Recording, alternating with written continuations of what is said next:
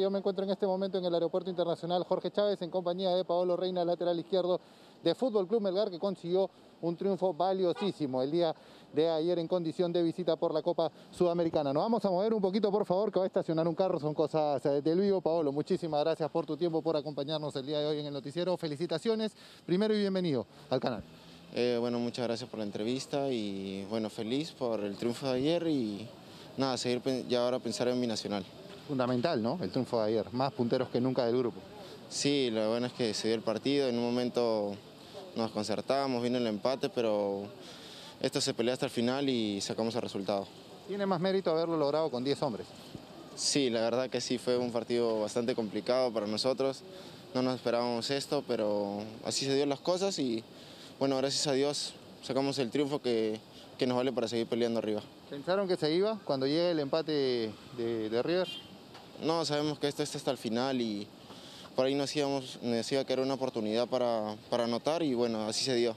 Ahora complicó mucho, ¿no? Cuando se va, cuando se va Carlos en esa jugada totalmente aislada.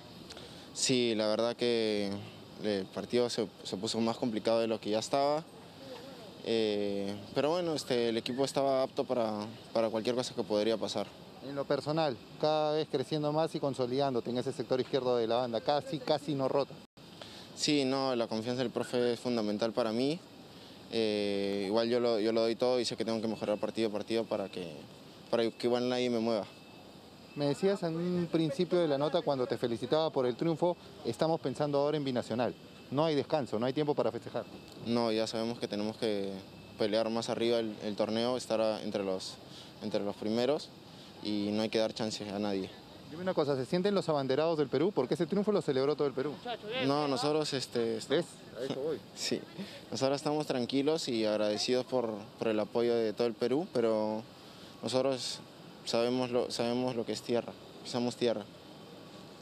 Eh, ¿Se van hoy mismo para, para Arequipa? ¿Dos, ¿Dos y media de la tarde está, está el vuelo programado? Sí, me parece que sí. Y, ya bueno, mañana entrenar para pensando en mi nacional y, y seguir con, con la liga y la copa. Que tengan lindo viaje y felicitaciones de nuevo. Gracias por esta alegría que le dan a todo el país. Canal exclusivo de Movistar TV.